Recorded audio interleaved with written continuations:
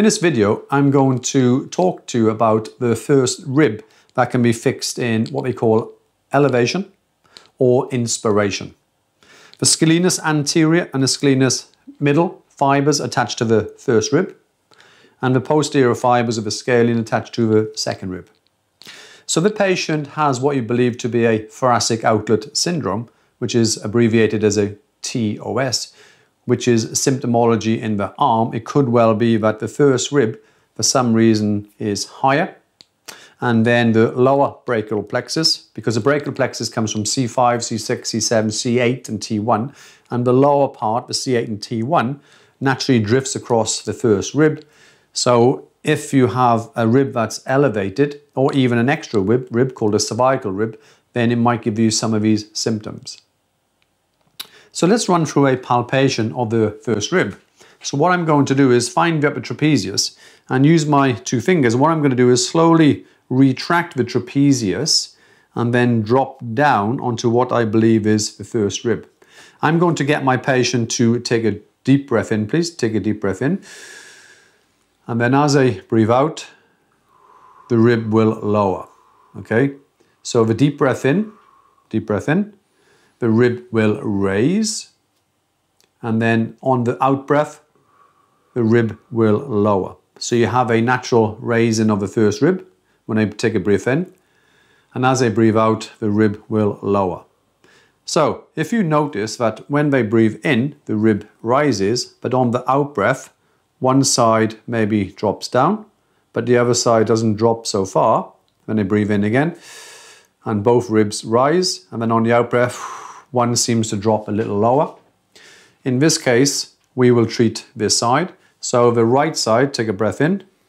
I feel the rib rises and on the out breath, I perceive the side to stay elevated. So we are going to pro provide a MET to try to encourage lowering on that side.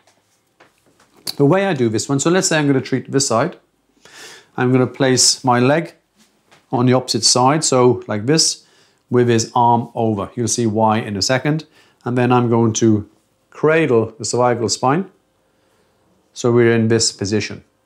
Now my MCP joint here, my metacarpal phalangeal joint in here, what we're going to do is apply this area almost like a like a 45 degree angle towards his opposite axilla. So I'm not going to do anything yet because I'm going to just cradle this area in here.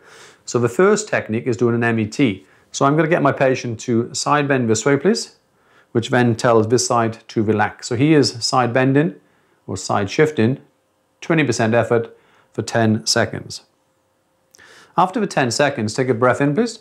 And as he breathes out, I'm going to shift him over side bending the neck, so slackens the scalenes as I use my MCP just to mobilize the rib. You see that? So I'm going to mobilize the rib going down. So let's run through that again. So take a breath in. And as he breathes out, breathe out, I'm going to side shift, side bend the neck and just use my MCP just to mobilize.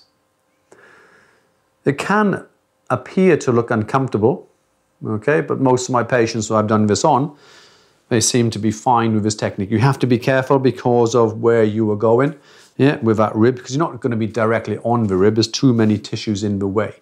Okay, so it's an awareness for the position. Take a breath in again. Side bend your head this way, which then tells this side to relax through what we call reciprocal inhibition.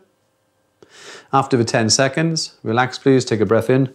And as he breathes out, the technique is the side shift with a side bend and then a mobilizing technique. You can just mobilize, you can spring down through that, but please be careful when you're using this pressure. I can just press and hold and just wait for a few seconds just to encourage that first rib to lower.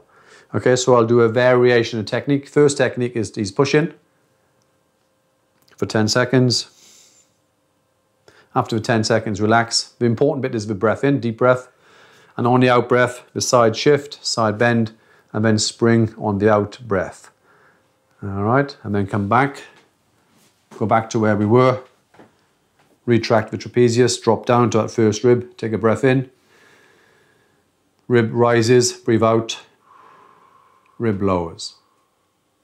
Okay, and hopefully the symptoms you might perceive in the arm hopefully will reduce. So that would be a muscle energy technique for a inspirated or an elevated first rib. Thank you for watching.